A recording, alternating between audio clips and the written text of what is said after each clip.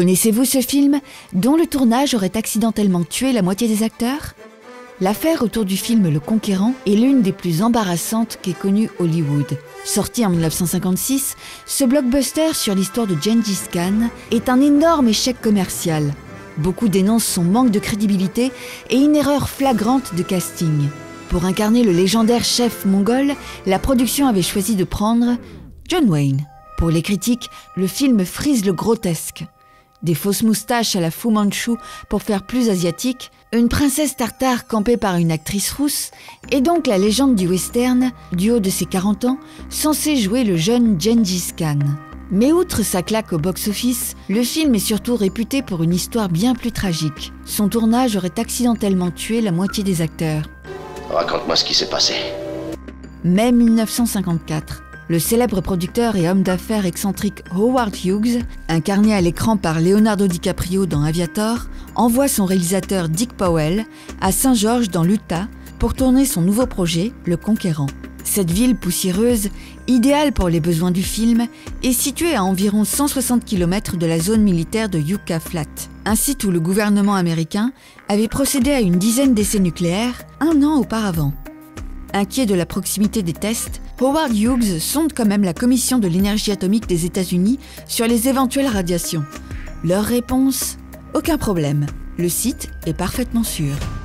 Ils avaient tort. L'équipe de tournage est alors exposée pendant trois mois à des radiations 400 fois supérieures à la dose normale acceptée. Entre 1954 et 1981, sur les 220 membres de l'équipe, 91 ont développé une forme de cancer et 41 en sont morts, dont John Wayne. Et ce chiffre n'inclut pas les membres des familles venus visiter leurs proches pendant le tournage, comme les fils de Wayne, Patrick et Michael. Tous deux développeront un cancer plus tard. Comble de l'ironie, John Wayne avait lui-même apporté sur le site un compteur Gégère pour mesurer la radioactivité. Le compteur s'affola tellement que l'acteur pensa qu'il était détraqué.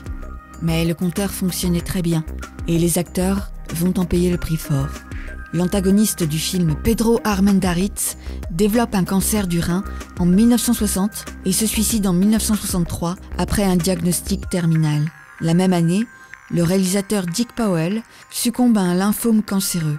Présente aussi sur le plateau, l'actrice Agnès Mourred, quatre fois nominée aux Oscars et connue pour la série Ma sorcière bien-aimée, meurt d'un cancer de l'utérus en 1974. Et Susan Hayward, qui joue l'épouse de Gengis Khan, décède d'une tumeur au cerveau en 1975.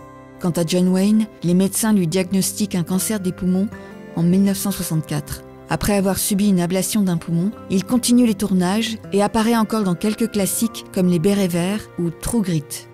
En 1976, il tourne son dernier film, le western Le Dernier des Géants. Un récit aux allures de chant du cygne, puisqu'il y incarne un vieux cow-boy atteint d'un cancer qui choisit de mourir l'arme au poing plutôt que terrassé par la maladie. Toute ma vie, j'ai eu trop de fierté pour, pour accepter l'aide de qui que ce soit. Il faudra que j'apprenne. Après une dernière apparition en cérémonie des Oscars en 1979, John Wayne meurt la même année, à 72 ans, des suites d'un cancer de l'estomac. We're still here and plan to be around for a whole lot longer.